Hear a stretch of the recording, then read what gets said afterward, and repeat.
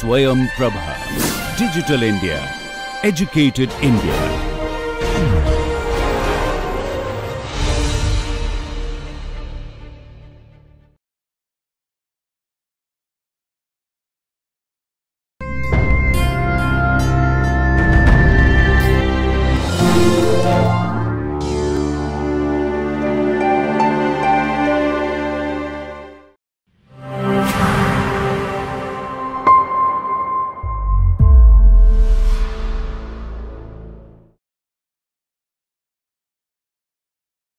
Hello everyone, my name is Gaurav Arora. I'm a faculty of economics at IIIT Delhi and let's get started with the first lecture of spatial statistics and spatial econometrics.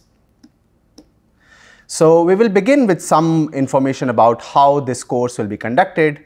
So the primary objective of this course is to provide a graduate level maturity in statistical analysis for students of engineering, mathematics, statistics, earth sciences, economics and other quantitative social sciences. So at the outset, uh, we can see that this course will have wide applications. So, you know, a wide uh, range uh, of students coming from different domains can take advantage from this course. I believe that statistical concepts are best understood with applications. So in this course, uh, we will strive to have you know in-class in-class exercises which will be applied in nature. We will have weekly assignments that will help students apply the concepts that are going to be learnt during lecture hours on real world problems.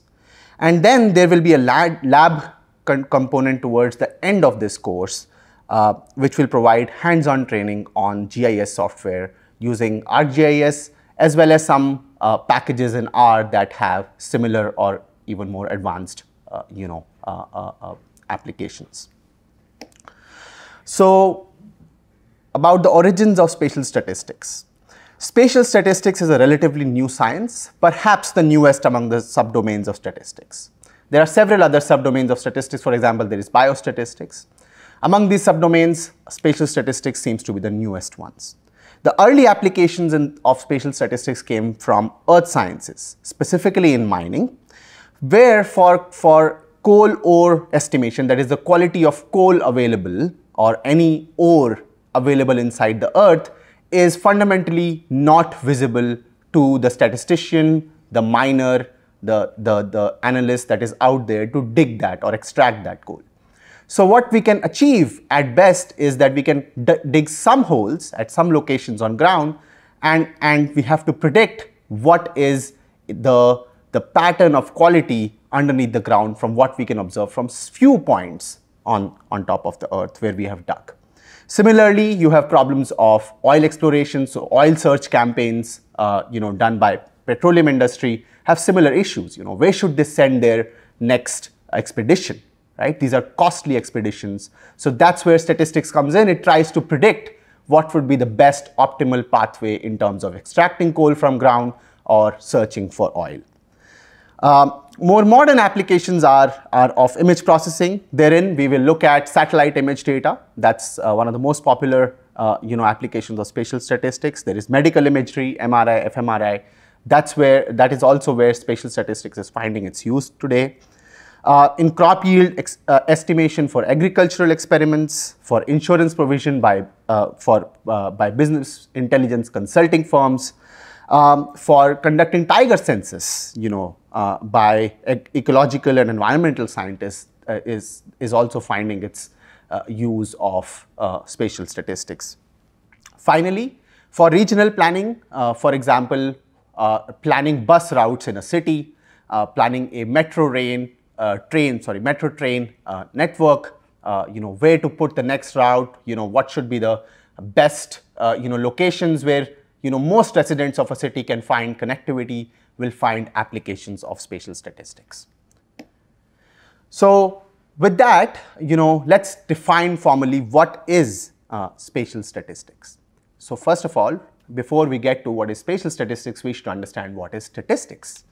Well, uh, statistics is a science of uncertainty. So statistics posits the, the observations that we see around us in the world as, as fundamentally random in nature, right? And, and but you know in this fundamentally stochastic or random real world around us there is some order. And statistics as a discipline as a science strives to de determine or identify order in disorder right?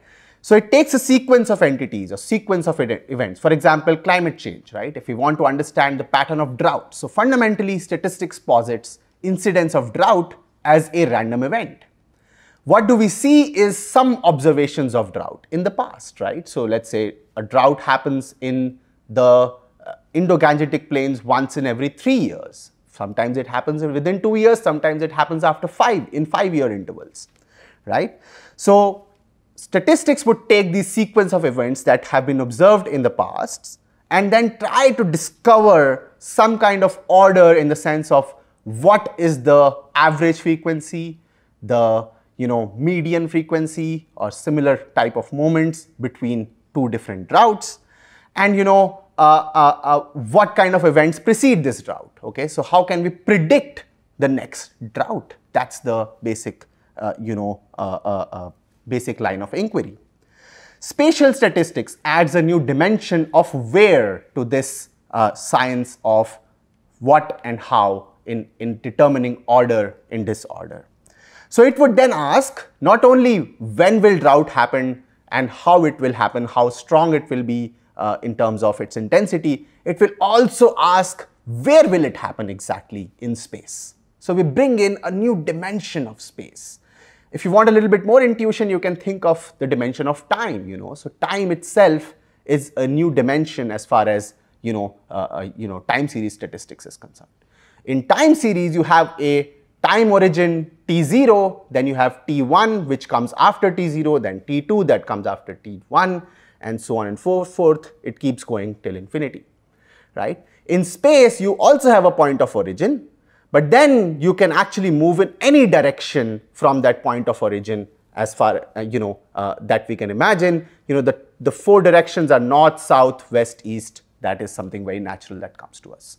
So if we start to exploit these directions in space in, in doing statistics, that is what, uh, you know, that's the toolkit that spatial statistics will bring uh, to the table. Okay, so let's begin with some popular applications, all right? So, you know, uh, because we have to sort of combine concepts with applications in that spirit, you know, let's, let's see who cares about spatial statistics. So some of the most recent popular applications of spatial statistics have been, uh, you know, it has been a project by Facebook on expansion of internet coverage in Africa. Now, internet connectivity be, can be provided using different modes. You know, it can be provided using landlines, using satellite signals, using drones, or even hot air balloons. However, which mode is best suited for which region depends on the demand for internet, which will come from the population density of that particular region.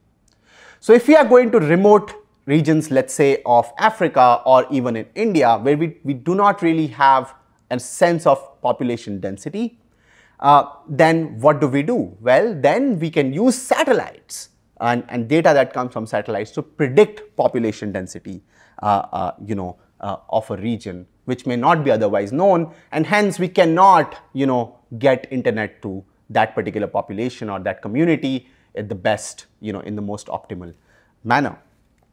So Facebook employed uh, satellite imagery and data science to predict population density for a large landmass of approximately the size of Africa. So it was a large scale application done using satellite imagery.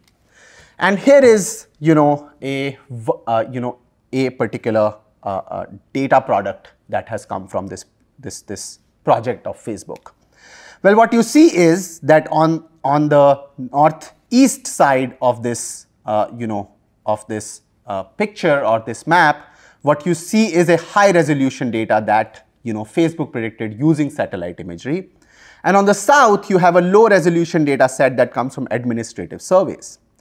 What you see is that in the, in the, in the bottom picture, you have a sense of population density in the sense the lighter regions are low population density areas, the darker regions, the bright red regions are high population density areas.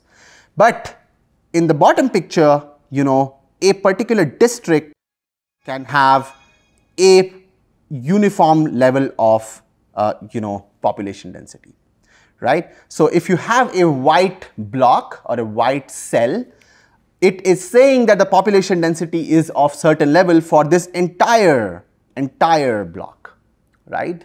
Whereas if you go to this north map, um, this map in the north, you can have difference in the level of population density in that, in a block of similar size, okay? So you can have a, you can have lower density areas adjoining higher population density areas. So you have a higher resolution, higher resolution understanding of the region by itself. So this is powerful in the sense that you know it gives you a more sort of finer understanding of what's happening on the ground so that you can then allocate resources efficiently. Let's look at another example. So in, the, in another popular example of supply chain management, which is a more of a business intelligence uh, domain example, satellite data were used to estimate the number of vehicles parked or density of parking area utilized for 100 Walmart, Walmart stores across the United States. And then these were then correlated with those with the revenue streams and the sales of those stores. So what you see in this picture is that you can, you are looking at a, a satellite imagery which has a parking lot. It has a parking lot and you know some portion of that lot has cars in it, right? So you can, you can first of all see through naked eye that you know some of some some portion has cars, some portion has no cars, right? The other thing that you can see is that you can, you can imagine that one can use software to actually count the number of vehicles that are parked in this parking lot. So you can tell at a given point of time how many vehicles are being are parked in this parking lot, which gives you a signal of how, how many customers, how many consumers might be visiting that Walmart store, this Walmart store at that given point of time. And that should then give you a signal of how, what should be the a level of sales or level of you know uh, earnings that this store may be uh, you know experiencing.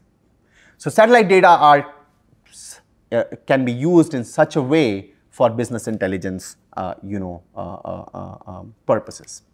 There are some other you know some other some other popular examples and and I have a hyperlink here. So if students are you know, interested, if you are interested, please click on the hyperlink, go and read. There are more examples. For example, there is Amazon's famous inventory optimization problem that, that you'll find very interesting to read. Then there is prediction of crop yields for agricultural sector. This has become a very famous, uh, very popular tool in the West, uh, which has larger farms. For countries like India or low income countries, you know, prediction of crop yields is more challenging because we have smaller farms. So this is a problem, uh, you know, that is being explored by the research community at the moment. And then finally, you know, as we have also remarked earlier, there is optimization of drilling search for oil discovery that is done in the petroleum industry.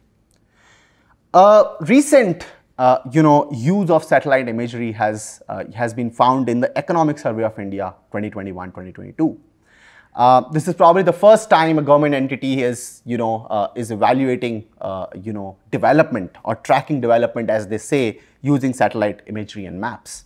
So let's see what we find in the Economic Survey of India 2021-2022. So what you see here is nighttime luminosity on the map of India uh, across space in 2012 and on the left and 2021 on the right. So on the left, you know, first of all, wherever you see a brighter light, that basically means that there is, there is, uh, there is, let's say, you know, there is more incidence of, of, of lighting. You know, it could be city lights, it could be residential lights, it could be street lights, whatever that is, all of that is aggregating and, as, and, and if we click a picture from space, you know, it looks like how, it tells us how light is, uh, you know, spread at, a, at night time in these cities. So you see New Delhi, uh, of course, around New Delhi, you have a you have a uh, you know very large mass of light in 2012. So you have around Kolkata, and similarly around Mumbai, right? So these are metro cities. Of course, you will also see this around Bangalore, around Chennai. I'm I'm only talking about these, right? So first of all, you know the spatial information is is rich enough to tell you the density of the difference, the variation in density of night lights in across different cities and, and different towns eh, in India. If you come from a smaller town, maybe you can locate that in this map approximately and tell how much night light uh, was there in 2012 at that time. On the right hand side, when we move to 2021, uh, what is very clear is that the nighttime luminosity has on average increased in India, right? So if I were to look at a uh, non-spatial statistic, I will have a nighttime luminosity index for 2012 and a nighttime luminosity index for 2021. And of course, 2021 index will be much higher uh, than maybe even double than 2012 measure, right? So that's one type of statistical analysis or statistical understanding of, uh, you know, data-driven understanding of uh, nighttime luminosity in India. But you can do better. You can tell that the increase in nighttime luminosity has happened around the already existing cores in 2012. So luminosity has increased, but it has increased mainly around, you know, New Delhi, Mumbai and Kolkata, right? What has also happened is that the area that looks quite dark, which is the Bihar, Jharkhand, West Bengal and let's say eastern UP, Uttar Pradesh, that is eastern Uttar Pradesh, which looks pretty dark around the 2012 period, seems quite bright. So this is where the increase, the net increase is going to be coming from a lot right? So spatial statistics is powerful in the sense of not only telling us what has happened, how much it has happened, but it is also telling us where has it happened really, okay? So if I were to tell you, okay, the nightlight luminosity was x1 in 2012, it was x2 in 2021 and it, x2 was quite large as compared to x, x1. But then where has this increase come from? Well, it has come from the core of already existing uh, you know, high luminosity density around the metro cities, metropolitan cities of India. But it is also coming from the heartlands, the, the not so developed regions that are, that is Bihar, uh, West Bengal, Jharkhand and Eastern Uttar Pradesh, right. So this is, this is the interesting dimension that spatial uh, analysis brings to the table. The next, you know, uh, uh, uh, you know, graph or the map that that Economic Survey of India posits is the spread of commercial bank branches in India. So you can first, you can at the outset, you can see the kind of you know uh, uh, applications uh, that we are seeing as the first two examples in Economic Survey of India are very different. One is the nightlight luminosity, the other is bank branches. In this graph, in the left graph, we have the 2011 uh, you know spread of commercial bank branches. Every dot by itself is a bank branch. Every dot on this map is a bank branch. So if you see higher density of dots, what you are basically saying is there is high density of bank branches in that area. So there is higher activity of economic, you know, uh, transactions. You know, uh, uh, the credit industry might be more, you know, dynamic in that in that region, right? So now, you know, on, from 2011, then we have a commercial bank branches spread in 2021. At the, at the outset, what we are seeing is, well, there are definitely more bank branches in India in the, uh, that uh, from 2011 to 2021, right? And the number of bank branches, which is also coming from the economic survey, has gone up for, from 74,130 to 1,22,976. So there is indeed, you know, a a, a pretty high increase, about a 70% increase if, uh, you know, uh, if, if, if not double, you know, about 80% increase maybe in, uh, you know, uh, in the increase of bank branches. That's one way to understand the world around us, right? So how and how much, by how much and what. So what has happened? Well, the number of bank branches has gone up. By how much? Well, by about 80, 70 to 80%, right? But where has it come from? Well, it is quite clearly coming from the region in Orissa and Chhattisgarh where you do not see, you have this white map, a whitish map which basically says there is less density of dots in this region and which, which goes up quite drastically at least in the coastal regions of, of Orissa, right. So, so this is uh, another very good example. Then we have another example on net sown area in India. Uh, here you can see again, you can have a statistics, a statistic of what has happened, net sown area has gone up. Um, by how much you can calculate, but where has it gone up in the most? Well, you can see here that Jharkhand seems to have a quite drastic increase in net sown area relative to other uh, states, right? You also see some of that in the southern states uh, that I've marked here. So this is the type of extra information that spatial analysis is bringing to the table.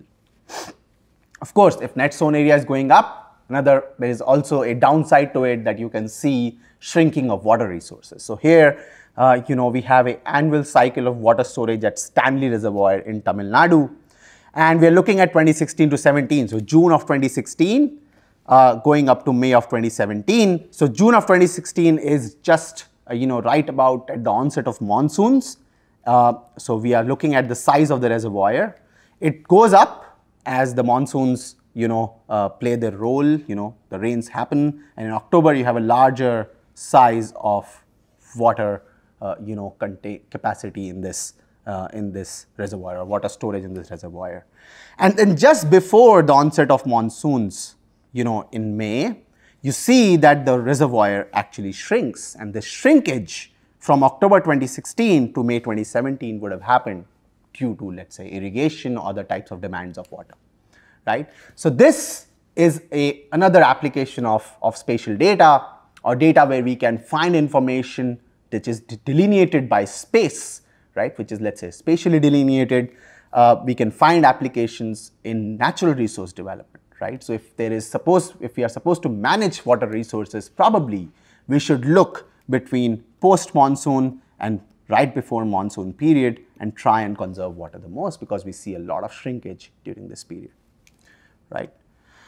Um, similarly, you have these these urban development, uh, you know, uh, uh, pictures on the left. You have golf course road in Gurugram in 2005 uh, to 2021. You see the extent of development that has come about in 16 years period of time. You know, urban development, of course, it has urbanized, but it has not urbanized everywhere. If you look at the south west region, that seems to have driven most of the urbanization, whereas the northeast region seems to remain a lot of it remains seems to remain green, right? So this is urban planning. I mean, it, this is this is supposed to be local, you know, uh, uh, uh, you know, local administration uh, opening up land or allowing development or not, or it could even be driven by the geographical features of the area, right?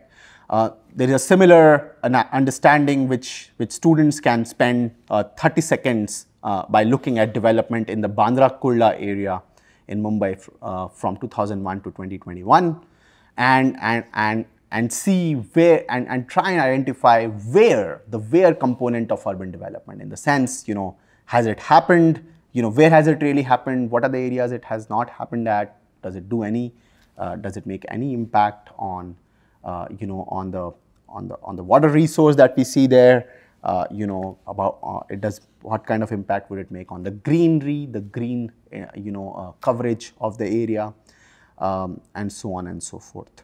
Okay, so so um, you can definitely uh, try and identify these things on this picture on the right for Bandra Kurla, Mumbai. Okay, so welcome back. Uh, you know, we will look at couple more examples, you know, in this lecture. So the next example is, uh, you know, the evolution of population density across uh, Delhi. So what you see is from 2001 to 2021, the first thing you can see is we have more red blocks in the 2021 map for the NCR uh, region, that is National Capital Region in Delhi, uh, than we had in, uh, in um, you know, 2001. Uh, so we can say at the outset, the population density of Delhi NCR has clearly increased from 2001 to 2021. But then we can go one step further, like we have seen in previous examples, that, that we can identify what are the what are the regions where this has really happened. So clearly, we have the region of Shahdara, which has seen a large increase in, or the, or the dominant increase in, in population density among different regions of Delhi.